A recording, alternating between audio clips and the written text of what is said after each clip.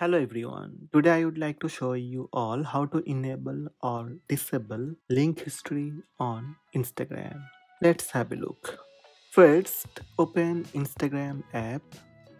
Tap your profile icon on bottom right corner of the screen.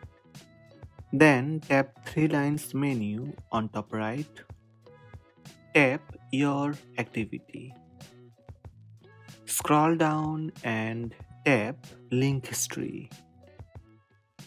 Here if you see a list of links it means the feature is active. Now if you would like to disable link history feature tap on any of the links in your history to bring up Instagram's in-app browser. Then tap three dots on top right. Tap browser settings. Here under link history you will see allow link history.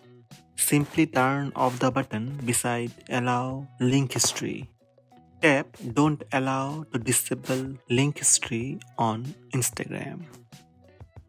That's it. Go back to your activity section and tap link history. Here you will find link history disabled for your Instagram app. If you would like to re-enable link history, simply tap allow link history. That's it. These are the steps to turn link history on or off on Instagram. Hope this video help you. Please subscribe my channel by tap subscribe button. Also tap the bell icon to receive notifications about all new videos.